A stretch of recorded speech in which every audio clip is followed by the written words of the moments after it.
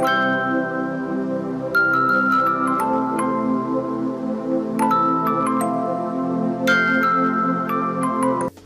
mừng quý vị và các bạn đã đến với bản tin dự báo thời tiết ngày 16 tháng 9 năm 2021.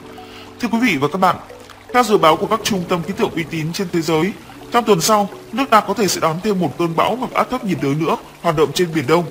Đặc biệt thì cơn bão này có thể sẽ tiếp tục gây ảnh hưởng trực tiếp tới đất liền Trung Bộ. Còn bây giờ trước tiên sẽ là phần dự báo thời tiết trên đất liền. Trong đêm qua và sáng sớm nay, miền Bắc trời vẫn còn có mưa. Tuy nhiên số điểm mưa vừa đến mưa to ít xuất hiện. Mưa chỉ tập trung tại khu vực các tỉnh ven biển, vùng đồng bằng của khu vực phía đông bắc bộ. Trong đó có cả thủ đô Hà Nội với lượng mưa phổ biến từ 10 tới 30 mm. Với mức nhiệt chỉ dao động trong ngưỡng từ 22 cho tới 25 độ. Đến trưa và chiều nay, miền Bắc mưa sẽ giảm dần và trời chuyển nắng trở lại trên nhiều khu vực.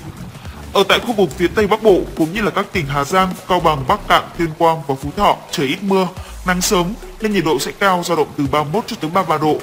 Các khu vực còn lại của Bắc Bộ, sau buổi sáng mưa nhiều, trưa chiều nắng gián đoạn nên nhiệt độ thấp hơn, duy trì trong ngưỡng từ 30 cho tới 32 độ. Gió đông suy yếu cũng khiến trong mưa ở khu vực Bắc Trung Bộ cũng đang giảm nhanh. Khu vực các tỉnh từ Thanh Hóa đến Hà Tĩnh mưa chỉ còn rải rác về đêm và sáng nay, số điểm mưa lớn cũng giảm hẳn. Chỉ sang đến trưa chiều, trời hứng nắng trở lại tại Quảng Trị cho tới Thừa Thiên Huế, nên nhiệt độ cao nhất ngày tại đây sẽ tăng hơn, dao động trong ngưỡng từ 31 cho tới 32 độ.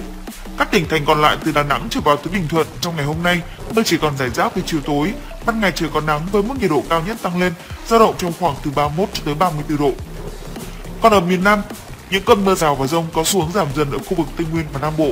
Sang tới ngày hôm nay trời nắng, sau đó đến chiều tối có mưa trở lại nhưng diện mưa ở mức rải rác, nên nhiệt độ vì thế cũng có xu hướng tăng. Mức nhiệt cao nhất trong ngày ở khu vực Tây Nguyên dao động trong ngưỡng từ 30 đến 33 độ. Còn đối với các tỉnh thành Nam Bộ, trong đó có cả thành phố Hồ Chí Minh, nắng xuất hiện trong ngày cùng mức nhiệt độ cao nhất dao động trong ngưỡng từ 31 đến 33 độ. Cập nhật về vùng áp thấp hồi 3 giờ sáng nay, vị trí trung tâm vùng áp thấp ở vào khoảng 9,3 độ vĩ Bắc, 130,2 độ kinh Đông. Trong vài ngày tới, áp thấp di chuyển theo hướng Tây Tây Bắc, tiến vào đất liền Philippines. Áp thấp dự kiến sẽ tiến vào khu vực Nam Biển Đông trong ngày Chủ nhật tuần này. Sau khi vào Biển Đông, gặp điều kiện thuận lợi hơn, vùng áp thấp này có khả năng mạnh lên thành áp thấp nhiệt đới, thậm chí là bão số 6. Hiện theo dự báo của các mô hình uy tín trên thế giới, áp thấp nhiệt đới bão có thể sẽ gây ảnh hưởng trực tiếp tới nước ta trong những ngày cuối của tuần sau. Vì vậy mà mưa lớn có khả năng gia tăng ở khu vực thành phố Hồ Chí Minh và các tỉnh thành Nam Bộ vào đầu tuần tới. Tuy nhiên trên đây vẫn chỉ là dự báo xa, diễn biến của vùng áp thấp này sẽ còn thay đổi nhiều trong những ngày tới để người dân chủ động ứng phó trong trường hợp xoáy thuận nhiệt đới này gây ảnh hưởng tới nước ta. Bởi vì từ thời điểm này trở đi, bão, áp thấp nhiệt đới sẽ xuất hiện nhiều hơn trên biển Đông vì nước ta đã bước vào cao điểm của mùa bão.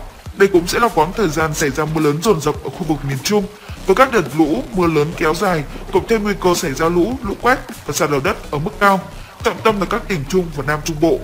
Đồng thời thì ESO có khả năng chuyển sang trạng thái La Nina từ khoảng tháng 10 và duy trì cường độ yếu đến hết năm 2021.